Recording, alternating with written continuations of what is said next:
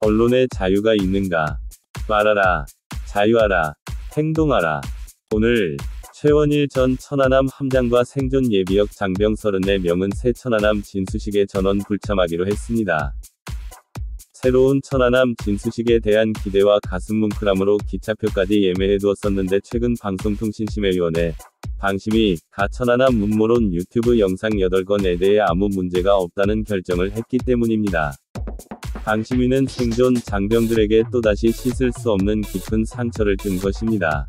그래서 결국 생존 장병들은 음모론 편을 들어주는 문재인 정부의 쇼에 이용당할 필요가 없다고 결론을 내린 것입니다. 옳은 결정입니다. 한 국가가 자유민주국가인지 여부는 언론이 얼마나 그 역할을 잘하고 있느냐로 어느 정도 평가 가능합니다.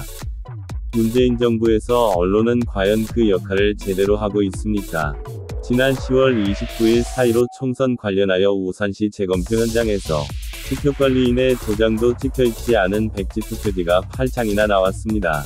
그런 가짜 투표지가 나온 것도 기가 막힌데 현장에 있던 대법관 4명은 그런 백지 투표지도 유효표라고 인정했습니다. 도저히 있을 수 없는 일입니다. 이것이 도대체 자유민주국가에서 있을 수 있는 일입니까? 저희는 너무 기가 막혀 재검표를 보이콧하고 나와 버렸습니다. 그런데 이렇게 중차대한 사건이 언론에 단 한 글자도 나오지 않았습니다. 이것이 더 기가 막힙니다. 이 사실을 도대체 어떻게 받아들여야 합니까? 최근 들어 우파 유튜버들의 계정이 무차별적으로 폭파되고 있다는 제보를 받고 있습니다. 전에는 경고문이라도 미리 발송하고 폭파시켰는데 요즘엔 경고도 없이 막무가내로 폭파부터 시킨다고 합니다.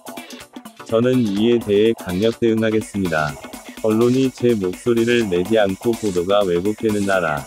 언론의 자유, 표현의 자유가 사라진 대한민국. 국민 여러분, 잃어버린 자유를 되찾아냅시다. 언론의 자유를 되찾아냅시다.